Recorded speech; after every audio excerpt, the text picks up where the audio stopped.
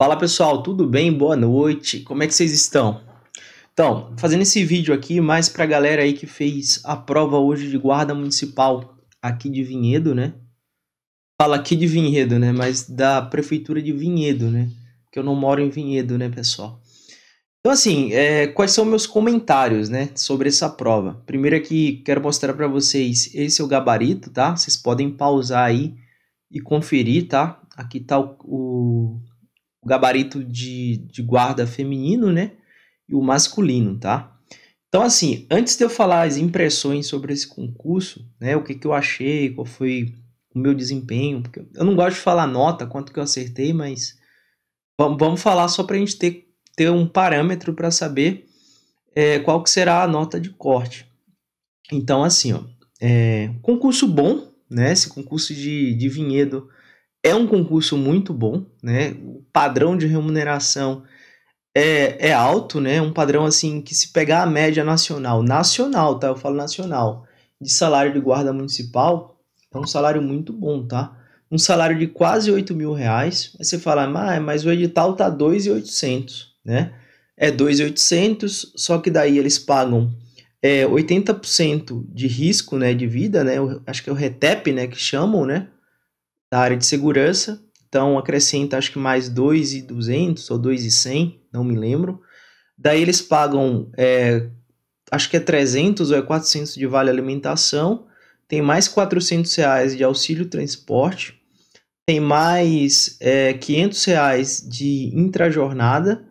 Né? Eu acho que é 300, né? Que é 30 reais por dia, dias trabalhado de, de vale alimentação, né? Eu sei que somando tudo, né, esses benefícios aí, dá uns 7 mil e uns quebrados, né? 7.300, 7 mil e alguma coisa. Porém, se você, é, sei lá, faz, é, pega outros plantões, né? Enfim, é, troca plantão, pega outros plantões, faz hora extra, você ganha um pouco mais, né? E assim, eu acho outra coisa muito importante também, bem legal assim nesse concurso, é a escala, né? 12 por 36. Então, assim, você vai trabalhar aí, é, sei lá, 12 dias no, no mês, né? Para ganhar um salário desse. Eu acho que é digno, né? Eu acho que é muito bom, tá? Aí, um, um salário desse, né? Explica porque muita gente tá saindo da Polícia Militar para virar guarda municipal, né? Então vamos lá, vamos sem enrolação, vamos falar da prova. O que, que eu achei da prova? Vocês sabem que meu foco de estudo né, não, não é GCM, não é guarda municipal. Porém, como eu estudo para a área de segurança pública, para a Polícia Civil de São Paulo, são os concursos é, que eu venho testando o meu conhecimento, né? Então, assim, se um concurso municipal desse é, cobra a legislação municipal da prefeitura X, é, cobra estatuto da guarda, é, cobra direito civil. Meu, se cobrar coisa que não cai no meu edital da Polícia Civil, eu não estudo. Eu vou lá fazer essas provas só com conhecimento do que eu treino na VUNESP para fazer prova da Polícia Civil, tá bom? Então, assim, essa prova daqui foram aplicadas 50 questões, né? E o meu desempenho, deixa eu falar aqui para vocês. No final, vou falar quanto foi que eu, que eu acertei. Mas assim, ó. Uh, deixa eu falar para vocês. É, o que, que eu achei do nível de dificuldade? Ó, falar em dificuldade, né? Isso, isso eu não posso falar para vocês. Porque depende muito do nível de estudo que você ou qualquer pessoa tá, né? Então, assim, eu falar que é fácil né? Eu, eu, por exemplo, eu estudo todos os dias. Então, obrigação para mim é ser fácil, né?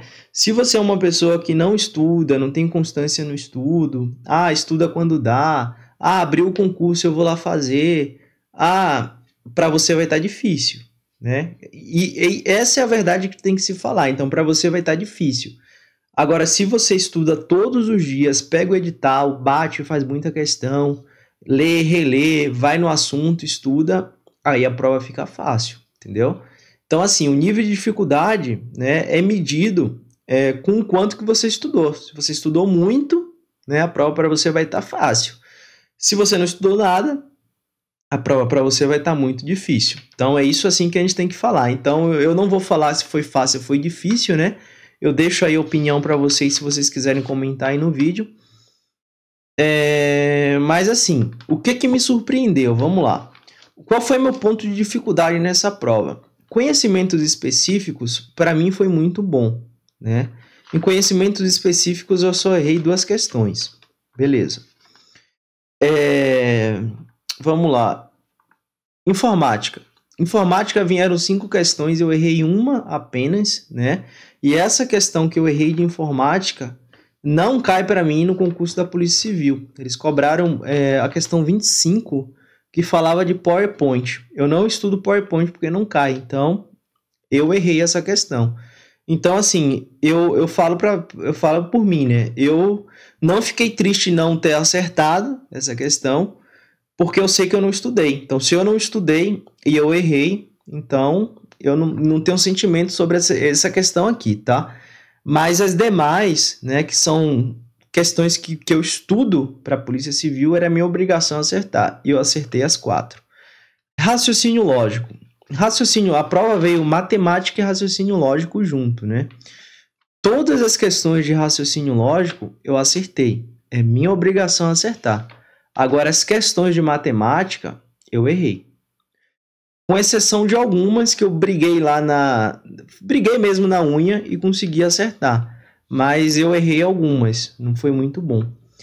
É, indo agora aqui para o português. O português, pessoal, da, dessa banca, né, que é a Avance SP, assim, é uma banca que meio que, que imita a Vunesp, né? Elas são é múltiplas questões, são seis questões, mas eu achei o português dela é totalmente assim diferente dos padrões de questões de português que eu faço na Vunesp, né? Um exemplo, eu vou te falar. Eu fiz concurso, posso te dizer que esse ano inteiro, todos os meses, eu estou fazendo uma prova de concurso da VUNESP. E a VUNESP, em nenhuma prova de concurso dessa, ela deixou de perguntar alguma coisa relacionada à crase, relacionada à colocação pronominal, relacionada a ao que mais? É, crase, colocação pronominal, é, acentuação, é, emprego de acento, né, vírgula, tal. E essa banca não cobrou nada disso. Ela veio totalmente diferente, cara, assim, de um padrão de banca de cobrar em concurso, né? Ela, eu, eu acho que a dificuldade de muita gente, de vocês aí, não sei, né? Posso estar errado, né? O português, né? E a matemática. Eu acho que a, a pedra no sapato aí pode ter sido isso, tá? E agora, sem enrolação, vamos lá. Quantas questões eu acertei nessa prova? Eu acertei nessa prova, claro que assim, não considerando os recursos, né? E possíveis questões de anulação. Inclusive, se vocês vislumbrarem alguma questão, porque eu ainda não, não analisei fio a fio as questões para ver se tinha alguma passível de anulação.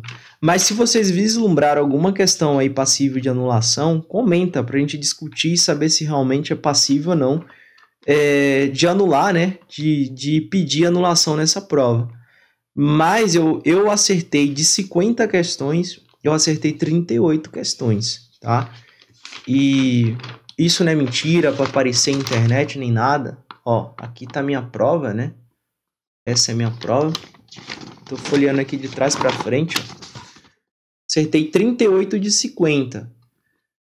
É só mesmo para falar para a gente poder ter mais ou menos, né? Comentem aí qual que vocês acham que vai ser a média de corte dessa, dessa prova, né? O que vocês acham? E de fato, galera, eu não, eu meu foco não é fazer os concursos de guarda. Eu faço os concursos de guarda, eu acabo passando nos concursos de guarda e muitos eu não assumo, cara. Quer dizer, eu não assumo, né, os concursos de guarda. Mas esse daqui dá para se pensar em assumir né, devido ao, ao salário, né, a 12 por 36 e ainda com três folgas, hein? Tem três folgas, pessoal, três folgas nesse concurso. Isso é um concurso mãe, é o sonho de todo mundo. E vou te falar, paga melhor que a Polícia Civil para investigador e escrivão, viu? Paga muito melhor, né? Então, comentem, fale aí o que, que vocês acharam do resultado dessa questão, dessa prova, né? deixa um comentário aí. Se você não é inscrito, segue o canal. A gente que é criador de conteúdo independente, não tem patrocínio nenhum, isso ajuda muito é, a gente a crescer, né? Ter mais visualização. Então deixa um joinha aí, curte. Um abraço para vocês. Bom domingo para todos, né? Boa semana aí para vocês também. E cara, e uma dica assim que eu dou, se é o sonho de vocês, né, passar num concurso público, seja da área de segurança ou qualquer outra área, né, eu acho que o fundamental é estudar, né? Não desista de estudar. Põe o estudo, né, em primeiro lugar. Sei que a gente tem outras obrigações, mas é, se dedique, né, nisso, se dedique no teu plano, no teu projeto, no teu sonho. E se você estuda e se você não para, né, você começa a passar em todos os concursos que você fizer, tá bom? Um super abraço, fiquem com Deus, boa semana e vamos para cima.